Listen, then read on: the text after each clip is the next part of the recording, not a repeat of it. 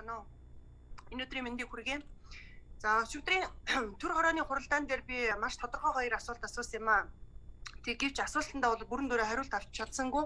За асуусан асуулттайгаа холбоотой энэ гадаад харилцааны яамнаас бас товч мэдээлэл бас над руу явуулсан байж байгаа гэсэн хэдий ч гэсэн бас хангалттай мэдээлэл гэж үзэхгүй байна. За энэ дархлаажуулалтын асуудал зөвхөн одоо улсын онцгой комисс за эрүүл мэндийн яам сангийн яамны асуудал бас биш юм аа. Бүхий л одоо яамны салбарын бодлоготой уялдах асуудал тул сайд нар одоо чиглэл чиглэлээр илүү их одоо санаачлагтай ажилламаар байна. За Монгол улсын иргэд гадаад дотоод аюулгүй зорчигтой холбоотой энэ дижитал паспортын тал дээр ямар бодлого зохицуулт хийж байна вэ? А яамны мэдээллийг харахад бол хит товч зарим нэг холбоотой ажлыг бол хийж байгаа юм шиг харагдчихжээ. Гэхдээ энэ талаар бол гадаад харилцааны яамны сайд тодорхой мэдээлэл өгөөч. За дараагийн нэг асуудал бол энэ дотоодын эдийн засгаа дахин сэргээх хөтөлбөрүүд за тэр дундаа бол энэ дархлаажуулалтын одоо хөтөлбөрийг онцгой анхаарч одоо хийж хэрэгжүүлж байна. Энэ гадны орнууд За энэ хөтөлбөрийг одоо амжилттай хэрэгжүүлсээр бол энэ аялал жуулчлалынхаа одоо салбараас эргээхэд голдох одоо үүрэг гүйцэтгэх нэ гэж үзэж байгаа юм байна.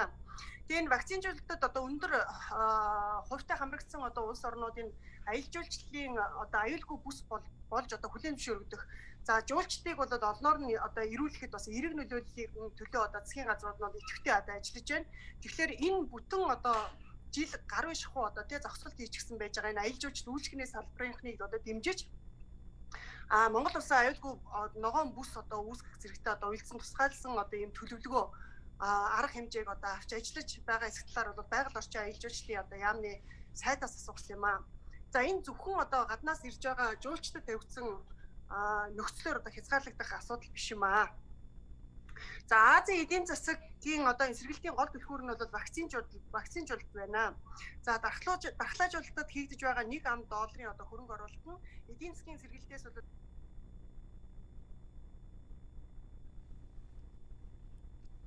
За өнөр бол өнөр болгох шүн нэмэлт юм байна.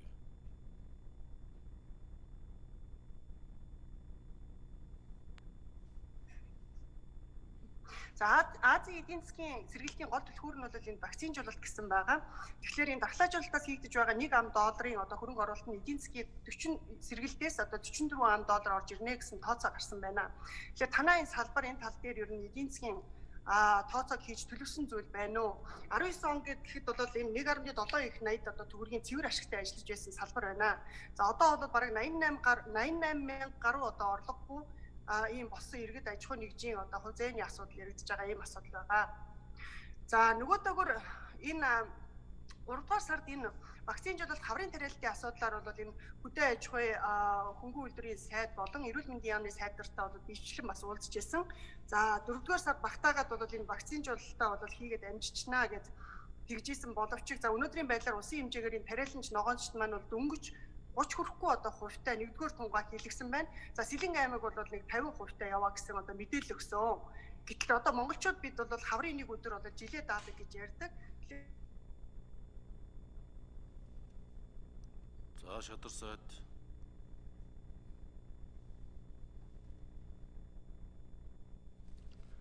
За дархлаажуулалтын ажлын талаар түрүүн бас мэдээлэл өгсөн. Өчигдөр байнгын орон дээр ч бас өгсөн. Яг төлөвлөгөөний дагуу явж байгаа вакцины хамрагдсан иргэдэд цахим бүртгэлд бас хамрагдах систем ажиллаж байгаа.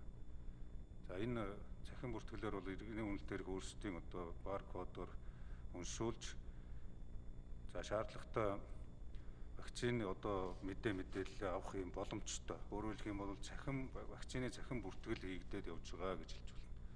За тэрийг хэвлж аваад явах зорчих газраа ашиглах хэрэглэх боломжтой аялал жуулчлалын яамны асуудлаар аялал жуулчлалын сайд байхгүй байна. Гадаад хэргийн сайд за бас энэ Монгол Улсын засгийн газар 5 сарын 1-ний өдрөөс хил нээх шийдвэр гарсан. Хөл хоройтой холбоотой 5 дугаар сарын 10-ны өдрөөс хилийг үүсгэхдээ нээх. За энэ хүрээнд улсын онцгой комиссийн тогтоох шийдвэр гарсан. За мөн 7 дугаар сараас эхлэн халдварын тархалт нөхцөл байдалтай уялдуулан хэрвээ тархалт бага эрсдэл багтаа байвал жуулчдыг үе шаттайгаар бас одоо зорчуулах боломжийг бүрдүүлэх тал дээр гадаад хэргийн яамд үүрэг чиглэл өгдөн бас холбогдох яриа хэлцэрүүд хийгдэж байгаа. Хилнэх асуудал зөвхөн манай улсаас гадна хилээ нээх нээхгүй тухай олон удаа бас улс орны асуудал байгаа цардахалтай холбоотой. Тэгээ ганцхан манай улсаас шалтгааллахгүй учраас зорчих боломжтой чиглэлүүдэд зам тээврийн яам, холбогдох яамдууд бас судалгаа тооцоо хийж ажиллаж байгаа.